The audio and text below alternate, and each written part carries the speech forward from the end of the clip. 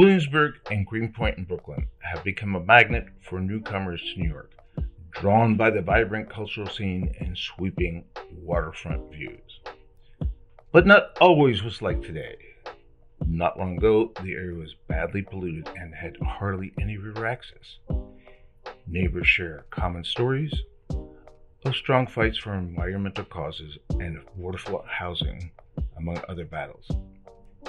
In the summer of 2022, uh, these struggles were documented via artwork and memorabilia in the bilingual English Spanish exhibition, Our Voices Seen and Heard 50 Years of Protest, Nuestras Voces Vistas Escuchadas, 50 años de protesta, at El Museo Los Sures and at the Greenpoint Library and Environmental Education Center, a branch of the New York Public Library.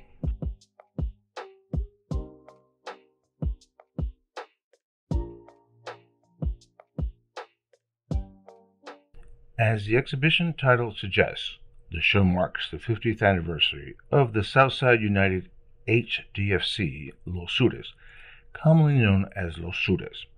It takes its name from the southern part of Williamsburg, which for many years was predominantly populated by people of Latin American descent. The organization was founded to respond to an epidemic of landlord abandonment, withdrawal of city services, and illegal evictions by landlords. Its initial mission was to rebuild the community through direct action, advocacy, and organized struggle, and to maintain it for the people that live there. The exhibit displayed posters, flyers, paintings, banners, t shirts, buttons, press clippings, cartoons, comics, murals, photos, protest signs, and other objects. Exhibit contributors included community members, and local organizations. The show recounts a history of activism, its challenges, and its victories, said Katie Naplatarski, activist, a longtime Greenpoint resident, and one of the show's curators. The mission of the show, which we hope is on the walls here and in the cabinets in Greenpoint, is to highlight and illuminate the many struggles of two neighborhoods separately and also two neighborhoods together. They're very different neighborhoods and they're the same also. Uh, but they are different in terms of their makeup. Um, one is historically and perhaps still uh, mostly uh, white, historically working class neighborhood, immigrant neighborhood. That's Greenpoint and Williamsburg, uh, the same as that, but also uh, Latino. And Greenpoint also has Latino um, too. And the show really is trying to show that we have struggles and where off, people are often exploited because of their economic class and because of their racial class both those things. And so the wall, the walls here are trying to um, show that commonality of struggle and of victory, because there are a lot of victories here too. Another mission of the show um, was to showcase the artistry of protest. Um, you can see on the walls here that it's not just text; it's also visuals. And so often creative visuals and creative means to bring people in. Uh, one of the powers of this community is the artistry in the community. At one time, there were many galleries in the neighborhood and artists, um, and there still are. And that creativity you can see on the walls here, um, along with the photographs and the history. Um, Another mission of the show was to inspire and to educate. So to educate uh, about the history of all these struggles. Um, many people who live in Greenpoint and Williamsburg or come and visit have no idea that at one point you couldn't get to the waterfront. You wanted to watch the fireworks on the East River. You couldn't get to the waterfront. There was no place that you could go to. You might be able to crawl through a fence uh, if it hadn't been patched up. Um, so it's a way to show what used to be here in order to inspire others uh, to that change can be made. And in that vein, one thing we tried to show within the show is that really it was a combination of four P's. Okay, so it's um, the people, so that's the activists. It's the politicians, and it's the press. Really, I would say without fail, within all of these struggles, these battles that you see around this room, these incredible, incredibly difficult things of getting rid of a transfer station and having a park instead, um, for example, or the battle for the power plant, which took seven years, was really a combination of people, politicians, press, which was often local press, especially to begin with, and then bringing in sometimes uh, professionals when need be to help to uh, inform and to um, uh, for legal matters sometimes too. Williamsburg resident Chris Sroka is another curator. She's an artist and organized labor agent. The message of the exhibition, she said, is to stand up and speak out. What I've been seeing around here, um, actually, I was speaking with a, a visitor to the show yesterday about how you would see crosses painted all over the place representing uh, the deceased, and that was always a little bit scary.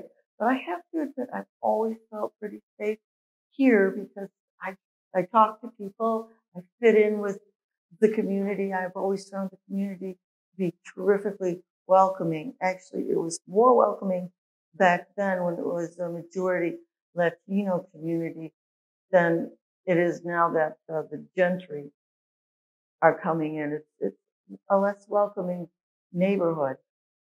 And um, when when I talk to the, the newer people in the neighborhood, I try and get them interested in something personal and small, like like um, your rent. Do you know if you're overpaying on your rent? You can go to the website. You can file for a rent rollback if you know the landlord has taken advantage of you and the people for you. But the sad thing is, I don't get much interest. You know, that seems to be, seems like it would be a way of getting people interested in, in knowing what's going on more with, with their buildings, with their neighbors, but it just doesn't seem to take hold. I, I think they're more peripatetic than we have been. There's so many avenues, and it's people are so needed to stand up and speak, and there are so few of us who are actually willing to do it. My beginning in activism was, as I had mentioned, in organized labor, which pretty much led me to have a lot of empathy with the Workers' Justice Pro- Project. But they are basically a union working with domestic workers and takes a lot of guts to stand up. I know that and these ladies know that. It takes guts to do it. It's way easy to sit back and complain. But if you, if you're passionate enough, get up and start doing it and it will come to you. You don't necessarily have to be active only in one area, but whatever touches you most closely and whatever community is most supportive of you, then stand up. That is, that's what real activism is. Stand up and speak. Among the organizations which provided exhibition material were El Puente, Greenpoint Williamsburg Waterfront Task Force, Stop the Plastic Park, and the Workers' Justice Project. Other contributions came from artists as well as scholars. One of those academics was Dr. Lara Alonso. She studied the Williamsburg based organization of cleaning women workers as a movement to build community and get empowerment. Um, what I study in my dissertation is how a group of people come to see themselves as a community and then what do they do in order to not only be in a community but to become a political subject a political subject that mobilizes its voice uh, in order to to fight political politically for um, their own objectives. The exhibit organizers wanted to convey a feeling of diverse but united communities. For example, curator Denise Arroyo created a mural that welcomed visitors to the exhibition, in which she highlighted the coexistence of children, youth, and adults, as well as plants and animals, all living together. Some of the things that have happened because of gentrification, making a clean neighborhood safer, bringing in a lot of new stores and stuff like that. But what I don't like is that my culture as a Puerto Rican woman kind of got scratched out of the neighborhood. That was a big thing in Los Sures that you see block parties for Puerto Rican Day or block parties in general for any, any neighbor, any ethnicity that was Spanish because we're very mixed Spanish wise. We were Puerto Rican, Dominican, Mexican. We had a whole bunch of us. And when gentrification took over, you, they all left basically. We have like a small group left and it's a little bit hard because sometimes I'll go into a place and I'll feel out of place in my own neighborhood and it, it hurts a little bit. But I guess have, you have to learn how to not only accept progress, but change with the progress as well. And also teach with it. And this is the whole point of this show where we're accepting the progress. We know that it's there. We, we understand it. But this show, this show is meant to also express that this, if it wasn't for these fights, these different protests, we wouldn't be the Williamsburg that we are today and the Greenpoint that we are today. At the show's opening, Juan Ramos, executive director of the Los Sures organization, said the museum's exhibition provided the residents of Williamsburg and Greenpoint with a voice to tell their own stories. Seeing here tonight is really a collection, not just of art, not just of you know history, but what you're seeing is a collection of struggle and movement in this community that has really allowed us to keep the footprint of the Latino community here in particular. Um, you know, you see work from El Puente, you see work from St. Nick's, you see work from Los Sures and others. Um, but I'm proud to say, as the executive of Los Sures, that Los Sures has been the backbone and probably one of the root organizations of this community, and that without us, truly affordable housing will not be attainable. Um, for the struggle of all my predecessors, our board members who were there from the very beginning, um, you know, to everyone who volunteers in our organization. This is truly not just an organization in name, it's an organization in movement because that's what we consider ourselves for, for five decades, right? This is our 50th anniversary, you know, kind of going, going with the theme, 50 years of protest. So I can't think of a year that we haven't been protesting something, a year that we haven't been outspoken in something. Um, it just, it, it's really an opportunity tonight for you guys to see that struggle, for you guys to see those movements, um, but also to say to yourselves, um, who are we in this community if we're still here? How are we not only, you know, embracing the newcomers, but how are we activating them to make sure that we all collectively preserve the humanity that we've been able to create here as a, as a community? Um, because it really has happened in a way that hasn't happened. I was talking to Asher about this earlier we were discussing how the movements here in, you know, Williamsburg really haven't been replicated anywhere else. You have organizations that have been here working together in unity. You know, when in other places of the, of the, of the city, they work in disunity, right? Um, they don't really come together because they're too busy checking off boxes on what it is they're trying to achieve. But here we see that, you know, without fighting for affordable housing like Los Sures, there, there can't be people here. And without fighting for environmental justice like in Puente, there wouldn't be safe and sound people here, right? That fighting without, not fighting for jobs, like say Nick's, there wouldn't be people here. That's my me. um, so, you know, what you guys are witnessing tonight is, is really historic. Um, something that we're proud as, as an organization um, to be a part of. Um, and I also let you know that in the space that you're standing, this wasn't open by accident. We purposely opened this spot in 2012 um, because we were seeing ourselves erased from this community. And we wanted to make sure that we preserve the history of local artists, but also the history of the movements in this community because if we don't do it ourselves, no one's going to do it for us. And even when they do it for us, if it's not by us, for us, it's not for us. Right? So we have to understand that um, we have to be at the forefront of those conversations, at the forefront of, you know, telling those stories because it's through our eyes and through our voices that it can really be told. Um, because if not, the people telling the story will tell you that, um, you know, we left quietly when we've been fighting fiercely. Um, and I'll just leave it there. Thank you all. These voices were also heard at the opening of the exhibit at the Greenpoint Library and Environmental Education Center. Acacia Thompson, the center's environmental justice coordinator, hosted an event where attendees could see examples of documentaries that have addressed issues in these neighborhoods. This land should be the people's land. He, he embodies himself both worlds, the Latino and, and the Hasidic.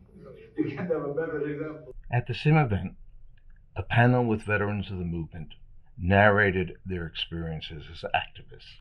Thompson encouraged the public to continue advocating and working together to educate people on activism.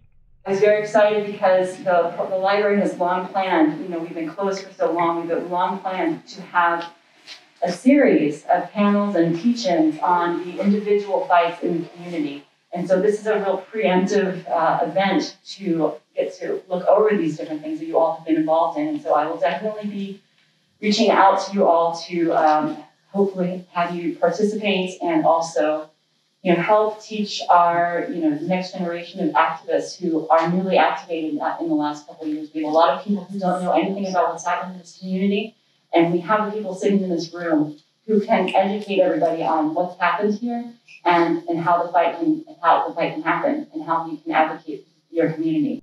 Another speaker was Joseph Lentol. He had represented the local district in the New York State Assembly for 17 years. I remember some kids who were uh, friends, acquaintances, some of, most of them Latino, some of them Ukrainian, and some of them Polish, who died at the site of the destruction of Williamsburg and part of Greenpoint when they built the BQE. Mm. And talking about the beginning of environmental issues and mm. environmental problems, you really have to start there because it really separated our community and divided us in a way that we had to really work hard to be united to fight what was about to come. Also, other activists shared their memories. What I would say to folks is it's it, uh, use our history, use our history to make our tomorrows better. Come together. Don't let culture, gender, religion, uh, class, don't let it get in your way. If you want to build a real community, that's diversity. Mm-hmm. Right? That's where people come together. That's part of I think what came to my childhood. That thing, and I've been blessed to work with uh, Barbara Schliff, who was over here talks uh, also, but, but she came in a couple of years after me, and we've worked together for all that time, battling. And one of the things that we learned and teach people is battling each other. Yeah, right. Mostly, mostly fighting each other, right? But, but what you learn is that you only lose by giving up, by not fighting. That as long as you keep fighting, you'll always win. You'll always get the results you need, the struggles you need. Uh, and that's been a blessing. So, uh, Luis also, one of the things he always talked about were his roots um, in the Puerto Rican independence movement. Um, he talked about his, his mother um, and her love of, of, plants and things, but also he had the connection to, to Lares, where his, um, his family his, on his mother's side was from, um, and just always had that deep connection um, to, to activism. Uh, and at El Puente, I think, you know, that sense that Luis got of the environment from, from his mother just was always really present. Like we're in this community, um, there's all of this uh, degradation and depredation around um, all this toxins. What, what, do we do about it? Um, the powerful thing that El Puente did was really empower, empower young people. That Toxic Avengers was the first environmental group, um, not the last one. Um, myself as a community muralist, um, the work was always really interesting because the, the organizers, um, Jose and Luis and other environmental activists would gather the information, do the research, um, bring it to us in the mural group, and, and we create murals, we create banners for demonstrations, working with um, the different other organizations in the neighborhood. Uh, one of the big things that, we worked on over the years was tied to um, the transfer stations and all of the other things that were causing low air quality in the neighborhood, particularly with PM10s, uh, was a series of surveys that Wendy did over a number of years with an epidemiological group called SIA, um, where they gathered data from thousands of households um, about um, rates of asthma, causes of asthma, um, just a lot of different um, information that was then published in um, an epidemiological journal. we were able then to create a, a mural that was presented in the neighborhood in a large visual form, then could bring that yeah. Place that Los Verdes, actually do with this stuff. Um, and I found it very physically very depressing. And people were living in harsh conditions, no essential services. Many people had no heat and hot water. You know, and it was really, it was really a, a kind of a depressing thing. But what I saw was, and what I felt was that there was a vibrant neighborhood. People were um, they wanted people, many of the people that were still there had no other resources, and that's why they were, were, were still living in, in buildings in these conditions. But they also wanted to stay there, and they wanted to get together and figure out how they can improve things. So together, I mean, I had no really experience or no knowledge, but we just worked together and realized that organizing was the way to get improvements. So um, we really work, we formed tenant associations, worked with buildings. People would come to us. After a while, they knew we were trying to help people and, and get, get things together and see what people could do. And we formed a tenant associations all around the neighborhood where people were able to assert their learn their rights, assert their rights, and um, we worked closely with Brooklyn Legal Services, with Marty. As you said, we kind of formed a partnership where we would organize the building. We would have an attorney come to the meetings with the tenants so they would feel comfortable that, you know, um, they would be represented.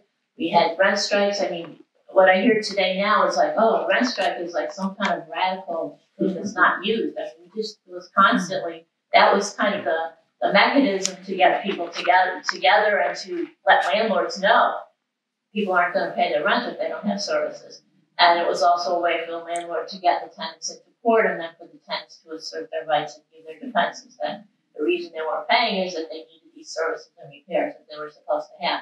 So that was kind of like, you know, the, the main thing of organizing and, and we branched out into more community organizing on different issues too. We worked closely with the, the about the, um, power plant, not, you know, not getting power plant to the neighborhood. We understood, so that issue. But really, we focused on housing and realized that those were the, that was the basis for people to work with and other um, issues in the neighborhood. In August, El Museo de los Sures opened another show, which sounded the same theme. It was a photo exhibition by Fernand Luna, a photographer, activist, and former Williamsburg resident. The show documented the life and community action of the south side of Williamsburg from the 1970s through the 1990s, when the area was burdened by absentee landlords, lack of city services, and a high crime rate, which forced the displacement of many families. Um, the mission of this show is because I need to balance the point of view that was initiated by uh, a director uh, in a video that he did in 1984, uh, which he made the cartoonish of the community. And I was working in 1976. It started with Los Sures in 1976. And it doesn't show all the work and effort that the community was doing to help the, elevate, the, to stabilize and elevate the community. And this work reflects all of that. Uh, the different, various different non-for-profit community groups, and uh, and uh, case how the people stand up against all the elements and they fight back, and uh, the community is what it is today because of all those efforts. In an interview, Frances Lucerna, co-founder and president of El Puente, addressed the youth of the neighborhood. I think what keeps me hopeful and keeps me inspired are the young people of El Puente. And when I say young people, I'm talking about the six-year-olds all the way to um, the 60-year-olds, you know, and I see, say that in terms of, you know, how and in which way I even continue to be inspired, uh, you know, by the young people of El Puente. Um, I think, you know, we see a moment in time when all of the substantial movements for justice in this in this country, and I would say in the world, are being led by young people. Uh, young people who have a vision, young people who are really clear about their own power um, and their own will um, to self-determination. After the exhibition's extensive documentation of the half century of neighborhood struggle, those who participate in the advance of the community can assert our voices were seen and heard over 50 years of protest.